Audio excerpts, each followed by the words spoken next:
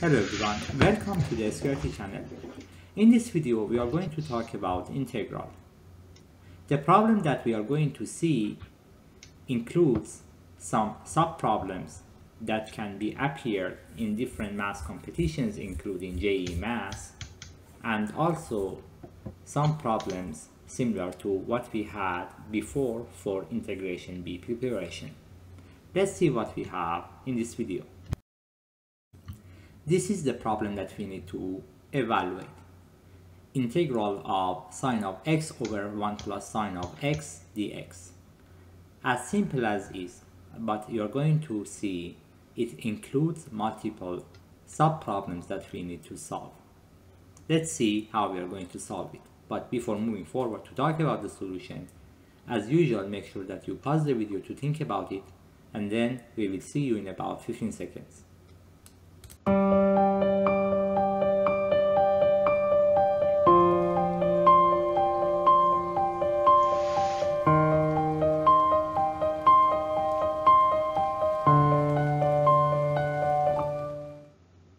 To solve this problem, I'm going to rewrite this fraction in another form.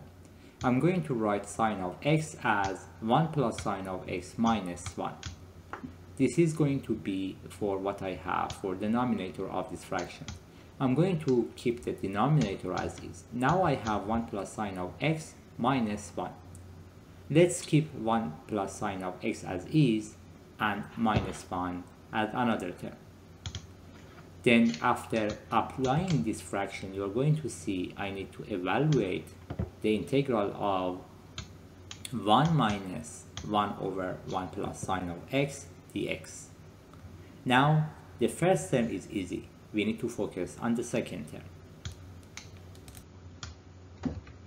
Focusing on the second term, we need to evaluate the integral of 1 over 1 plus sine of x dx. I'm going to rewrite it by multiplying 1 minus sine of x in both top and bottom of this fraction. For the top, I'm going to have 1 minus sine of x. And then for the bottom, I'm going to have 1 plus sine of x times 1 minus sine of x, which is going to be 1 minus sine squared of x. Now, 1 minus sine squared of x is just cosine squared of x. I'm going to keep the up as is. Now we need to split the term into two terms. 1 over cosine squared of x minus sine of x over cosine squared of x. Let's see how we are going to find this. But we are going to solve these two sub-problems into different sections. Let's focus on the first part. Remember we wanted to find the integral of 1 over cosine squared of x. To do this, I'm going to use what you are seeing here. First of all, let's focus on getting tangent of x as the function and then trying to get the derivative of this function. The derivative of tan of x can be replaced with the derivative of sine of x over cosine of x with respect to x.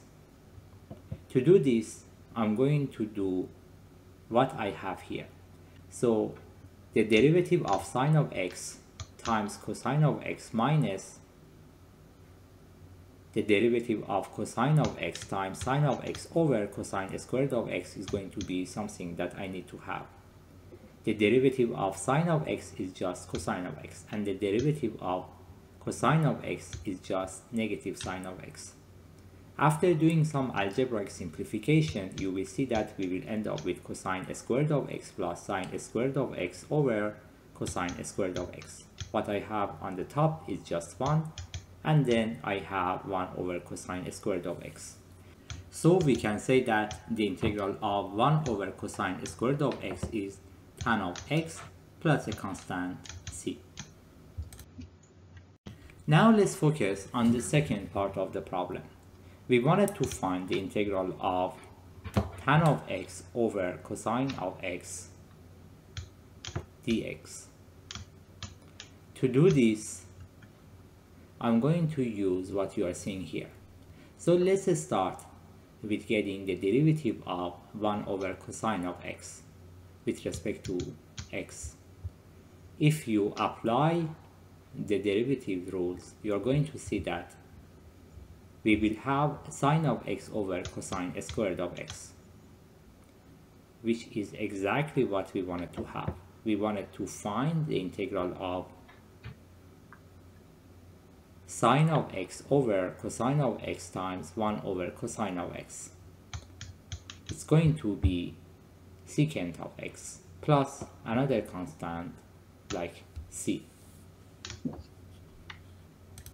Now let's put everything together. We start with finding what we are going to have for integral of sine of x over 1 plus sine of x dx.